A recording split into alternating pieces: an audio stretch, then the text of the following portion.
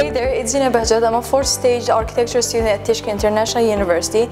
And today in this video, along with some of my colleagues, we'd like to give you an insight into the architecture department, how it works and how it is.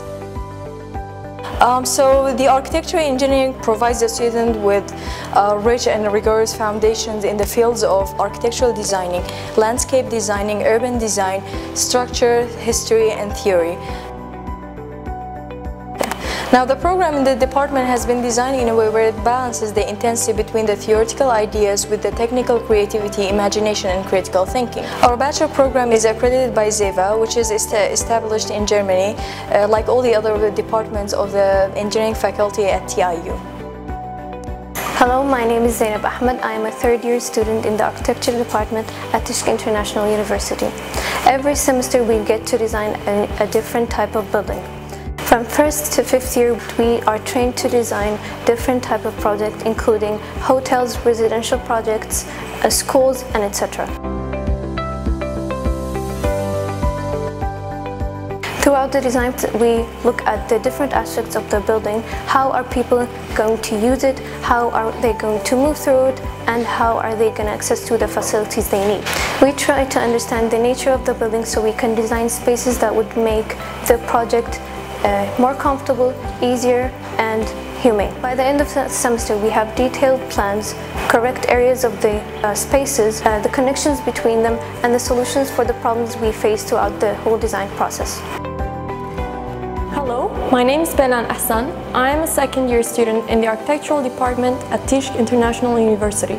In the Department of Architectural Engineering, we studied the relationship between buildings and people. Various buildings are associated with various issues, and throughout the studying years, we experiment with ideas dealing with categories, um, cultural, artistic, and historical components of architecture to develop our architecture and serve our community. Hello, my name is Mina Erjuman and I'm a fourth stage architectural engineering student. Our department has actually proven itself quite well throughout the local and international universities in a sense where we've actually won several awards, which include the Tamayouz Award, which is an Iraqi-British system. The department was chosen as the Iraqi Architectural School of the Year and two of our own students have won the second and the third place in the best graduation project in Iraq. And one of our own lecturers, Mr. Nauman Bayati, has also won the Hisham Munir Award as a Supervisor of the Year. Our department also organizes ICAD, which is a two-yearly conference that aims to gather researchers, professors, practitioners, educators, and students of architectural engineering as well as interior design who all share the same interests in architectural areas at all levels from regional and international universities around the world. The conference in its previous cycles invited some of the most prestigious names in the Middle Eastern and international architecture as keynote speakers and gave our students the chance to meet them and discuss their ideas with them. Architectural engineering combines theory with practice. Armed with those skills, our graduates are proving their positions in the market.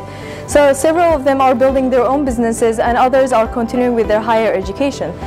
It is not an easy thing to study a profession like architecture that's so multidisciplinary, but it is a challenge that we always try to win. So if you have what it takes to be an architect and you like engineering and are creative, then architecture is a department for you.